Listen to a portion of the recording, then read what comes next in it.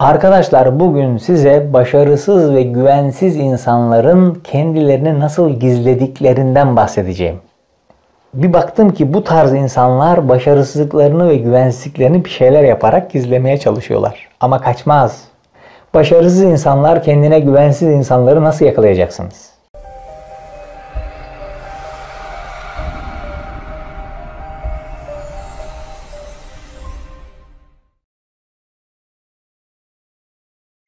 Bir, küstah ve kibirli davranırlar.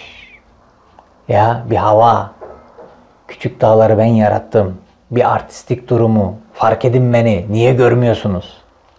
Aslında başarısızlık ve güvensizliğin işareti. Ya bu bir, tamam mı? İki, sizi ezmeye çalışırlar. Nasıl? Niye öyle? Niye böyle? Böyle yapılır mı? Bak acayip derecede seni küçülterek kendini büyütmeye çalışma var. Ezmeye çalışıyor. Neden? Kendi ezik. Kendi ezikliğinden kaynaklanıyor bu. Kendi ezik olduğu için seni ezmeye çalışıyor. Ya bir bakın çevrenizde yönetici pozisyonda çalışanını ezmeye çalışıyor. Anladınız mı? Bakın çevrenizde çok rahat bu tarzda tipleri görürsünüz. Geliyor pompacıya saygısızlık yapıyor. Geliyor garsona saygısızlık yapıyor. Dikkat edin ya. 3. Dürüst davranmazlar. Neden? Başarılı ve kendine güvenen insanlar net insanlardır. Bunların o iç kararsızlıklarından dolayı öyle mi böyle mi şöyle mi Yamuk ki adam kendisi yamuk. Kendisi daha kişiliğini bulmamış ki düzgün olsun. Düzgün sözler versin. Verdiği sözleri tutsun. Anladınız mı? Yamuk.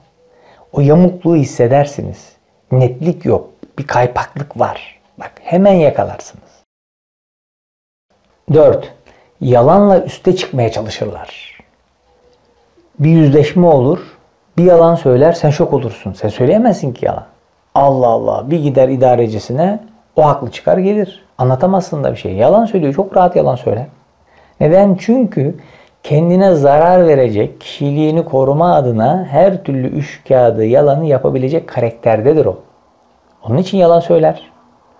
Anladınız mı? Yani kaybedeceklerine odaklanır.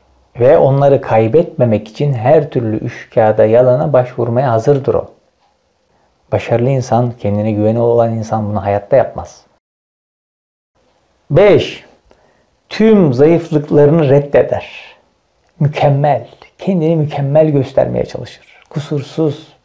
Harika bir insan o. Ya her insanın eksiği vardır ya. Her, her insanın yanlışları vardır, kusurları vardır. Kusursuzluk Allah'a ait. Yok biz insanız. Ama o elinden geldiğince kendini mükemmel, kusursuz göstermeye çalışır. Böyle bir çabası varsa samimi, doğal, kendiyle barışık, kusurlarını gizleyen değil ortaya koyan bir yapısı vardır bu özgüvenli insanların. Bunlar da tam tersi her şey mükemmel, her şey dört dörtlük, her şey süper. Nerede süper? Hiçbir şey süper değil. Dışa karşı acayip derecede o mükemmelliyetçilik, her şeyi güzel gösterme, zayıflıklarını saklama.